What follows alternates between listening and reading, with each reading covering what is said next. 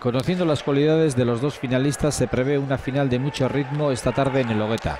Tanto Aymar como Oñaz buscan la mejor posición en la cancha para poder rematar.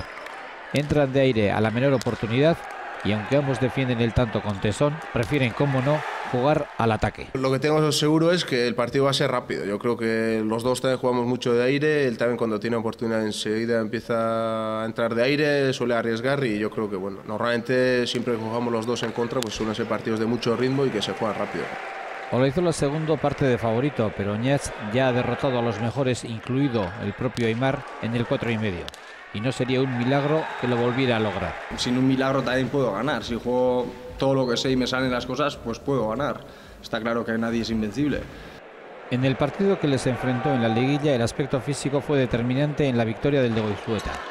El 4 y medio a ese ritmo se hace duro. La verdad es que el ritmo del 4 y medio y la exigencia física es máxima.